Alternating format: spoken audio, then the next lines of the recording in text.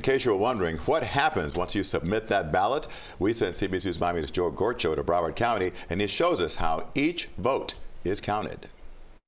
It's what drives a lot of passion out there from the voters. Yep, absolutely. Broward County Supervisor of Elections, Joe Scott, understands presidential elections come with additional scrutiny. A lot of people out there that are saying things that to disparage elections and make people lose trust in our election system.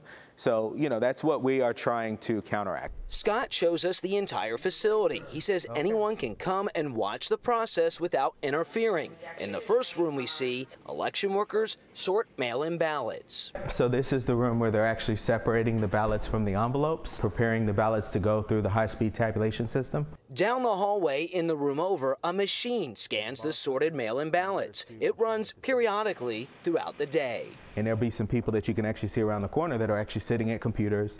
They're verifying the signatures on those envelopes to make sure that they match the signature that we have on file. If it does not match, they text, email, send mail, and call to let that person know. So they have until 5 p.m. on November 7th to submit a cure affidavit so that their vote can be counted. Past the warehouse, where we see over 1,000 voting machines ready to be sent out on election day, we look and see how the county organizes and stores all the mail in ballots and ones from in person voting. And those ballots go through a second scan in the clear ballot room for an audit. To check to verify that the count that we got from our tabulation system is accurate. It's been proven throughout various elections that every vote counts. And the highly visible process in Broward puts voters like Mercedes Kenny at ease.